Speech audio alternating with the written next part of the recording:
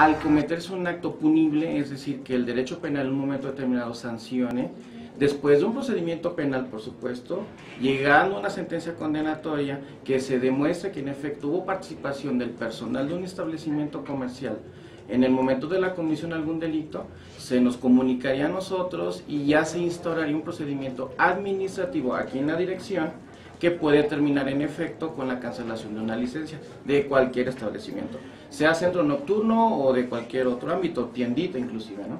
Entonces sería en este caso resolver primero el caso, el, el caso del, de la muerte, primero que, que un juez determine la responsabilidad de alguien Legalmente así es. y sobre eso sería el, o sea que podría tardar años pues la clausura. Aquí dependería de esa situación exactamente, porque legalmente no se puede proceder bajo presunciones. ¿verdad?